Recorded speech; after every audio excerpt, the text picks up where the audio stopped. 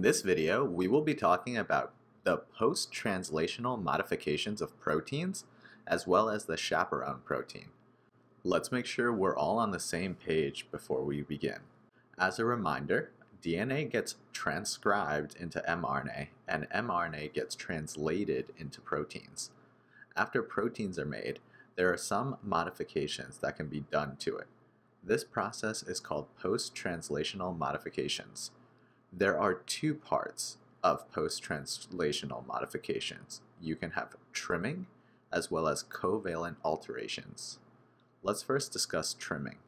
When the protein is made, there is an N terminal and a C terminal. So let's look over here. This is the N terminal and the C terminal. The N terminus, which is also known as the amino terminus, NH2 terminus, or N terminal end, is the start of a protein or polypeptide. The C terminus over here is the end of the amino acid chain, and it has a free carboxyl group, the COOH. So now that we know what the N terminus and C terminus is, we can talk about trimming. In trimming, there is removal of the N or C terminal propeptides from the zymogen, and the zymogen is essentially an immature protein. So removal of the N or C terminal propeptides can make a zymogen, an immature protein, into a mature protein. An example of this is trimming trypsinogen, which turns it into trypsin. This enzyme is important because it's made by the pancreas and it's a digestive enzyme. It will digest the pancreas if it's turned into trypsin in the pancreas, so you want to make sure that trypsinogen isn't activated too early on. So we want to make sure that trypsinogen is turned into trypsin in the right location. Something cool about this is that hereditary pancreatitis is caused by trypsinogen molecules that become prematurely activated in the pancreas. So that is trimming. Now let's talk a little bit about covalent alterations. This is mostly just memorization.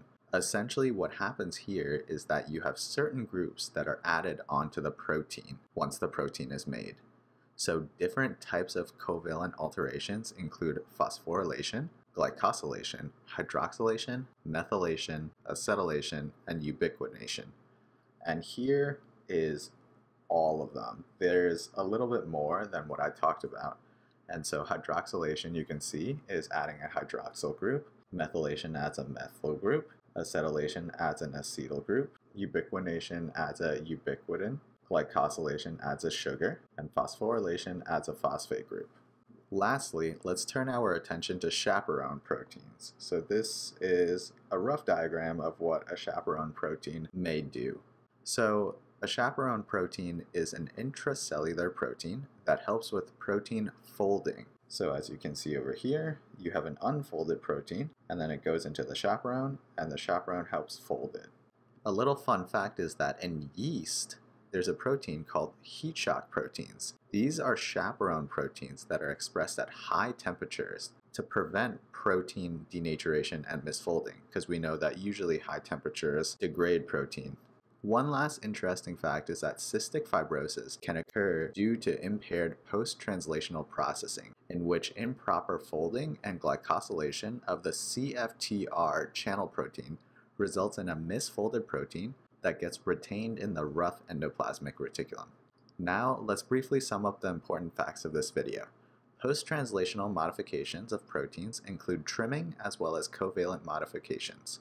Chaperones are also involved after proteins are synthesized by ensuring that the protein is folded properly, but they can also make sure other protein are folded properly. For example, right here, a denatured protein or a damaged protein can also be taken by a chaperone and folded back into its original form. Thank you for watching this video. If you got this far, please give this video a like. Comment below with questions or if you want us to make a video on a different topic. Lastly, don't forget to subscribe so you don't miss a future video.